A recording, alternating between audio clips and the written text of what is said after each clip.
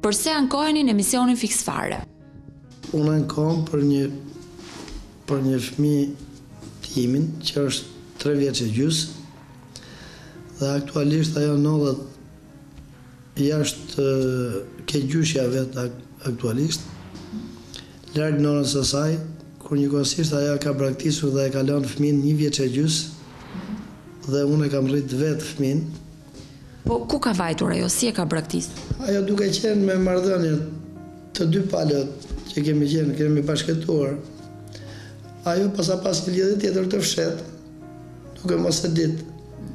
Dhe më kërkoi dhe një prokurë. Ku e kishte lidhjen? Jashtë territorit të Shqipërisë? Jashtë në shtetin fqinj të Greqisë. Duke mos e ditë me një fjalë e kishte pas. Si e braktisi, në çfarë moshe e la fëmijën dhe u largua? E la në një vjeç e gjys ka qenë fëmija. Si e mori pastaj, se meqë më thua që fëmija sot është në një fshat të Tepelenës? Në rastin konkret unë me të drejtë ia ia lashë, nuk kishte të drejtë me një fjalë nga pjesa e ligjit, po si nënë, duke menduar si prind, me dëshirë, Me bashkë ma kërkoi avokatesha e saj, dhe unë i thash, ia, lëja një, një orë, unë i thash mund ta mbajë edhe një natë, i thash nuk ka asnjë lloj problemi dhe kështu ka vazhduar dy tre herë, dy tre raste. Pastaj?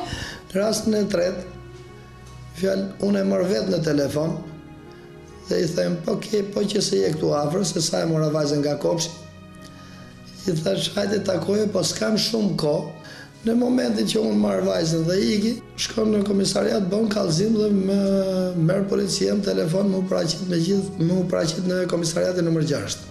Ndërkohë, a ishin në proces divorci? Po, ne ishim në proces divorci. Gjykata sot ka vendosur që fëmijën t'ia lë asaj. Për momentin ia ka lënë, ia ka lënë gjykata, ajo automatikisht ka shkuar e ka lënë ke, ke nëna vet në Mezhgoran të Tepelenës, në një fshat të thellë. dhe malor dhe fëmija im plus asaj që tani që m'u ka dhënë një drejtë më mbas 8-9 muajsh për të takuar fëmijën se s'kam pas kontakte fare. Ë vajza nuk don të qëndroj atje. Do të Të vijë të jetojë me mua.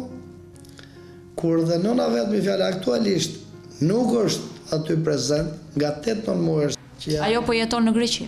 Ajo ka jeton në Greqi, ka kriju familjen, ka fëmijë atje, kur njëkohësisht fëmija im.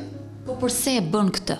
Përse mendon se po hakmerret ndaj jush? Nuk e kam kuptuar deri dje asnjë lloj gjëje, përkundrazi kur ka kërku dhe ajo për kujdestarinë e kalamanit.